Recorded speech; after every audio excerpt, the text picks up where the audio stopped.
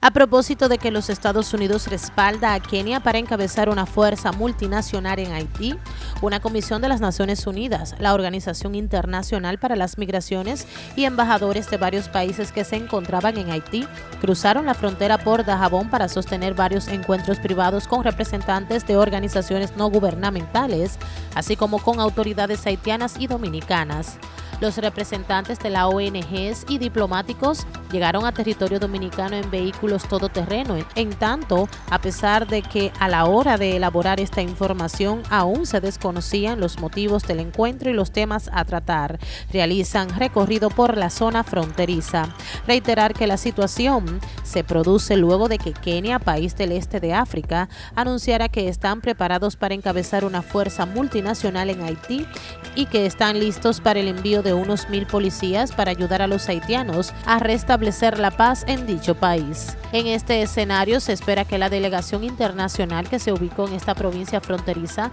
trate temas relacionados sobre el posible despliegue de tropas en la nación caribeña que comparte la isla española con República Dominicana y su impacto en la zona fronteriza.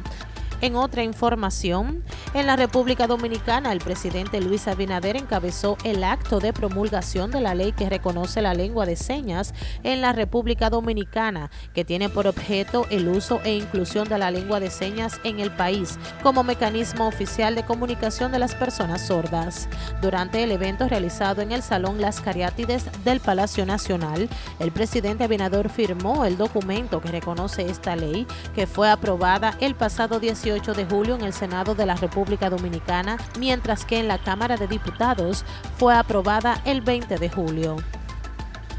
Por último, en República Dominicana, la Cámara de Diputados aprobó en primera lectura el proyecto de ley que modifica el Código de Trabajo para ampliar el derecho a licencia de maternidad y paternidad de los trabajadores, estableciendo una licencia de 10 días para los padres por el nacimiento de un hijo. La iniciativa de ley de la autoría de los diputados José Horacio Rodríguez y Johnny Medina manda al empleador a otorgar una licencia por paternidad remunerada por 10 días laborables a partir del nacimiento o adopción adopción del infante, a los fines que pueda ayudar a la madre en el cuidado, atención y protección del recién nacido. El proyecto de ley modifica los artículos 54, 236, 237, 238 y 239 del Código de Trabajo, ordenando además al empleador a conceder al trabajador cinco días de licencia con disfrute de salario con motivo de la celebración del matrimonio, tres días en casos de fallecimiento de cualquiera de sus abuelos, padres o de compañera.